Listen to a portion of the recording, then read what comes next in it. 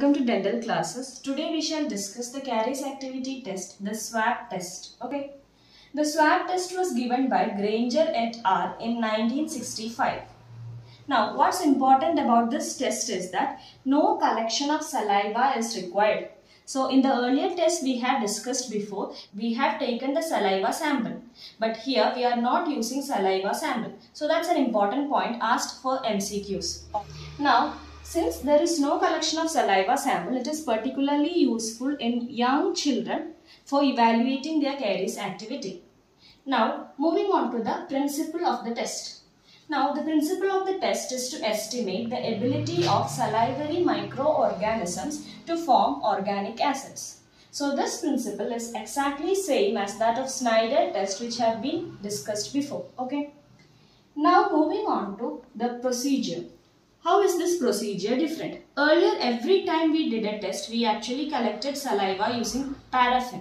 But here, how we do this test is that you take a cotton applicator and using the cotton applicator, you swab the buccal surface of teeth. This is done to obtain a sample of the oral flora. And then this is incubated in a medium and then it is incubated for about 48 hours. So here the procedure is you swab the buccal surface of teeth and then incubate it in the medium for 48 hours.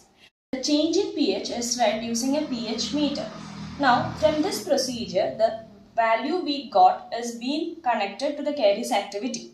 So here the pH of less than or equal to 4.1 would indicate marked caries activity. Now when the pH is 4.2 to 4.4 it is active and if the pH is between 4.5 and 4.6 it is slightly active and when the pH becomes more than 4.6 it becomes caries inactive. Okay so that's what you have got from this table. Now we will move on to the advantages. There are two main advantages for this swab test. Here first advantage we have already discussed is that there is no requirement of collection of a saliva sample. The other advantage is that it can predict the caries increment, especially in young children with little or no previous caries experience. Okay. So that's all about swab test. So two things you have to remember here is that it is a valuable test used in young children for evaluating caries activity. The other thing is that no collection of saliva is required here. So that's all. Hope you have liked the video. For more such videos, like, share and subscribe. Thank you.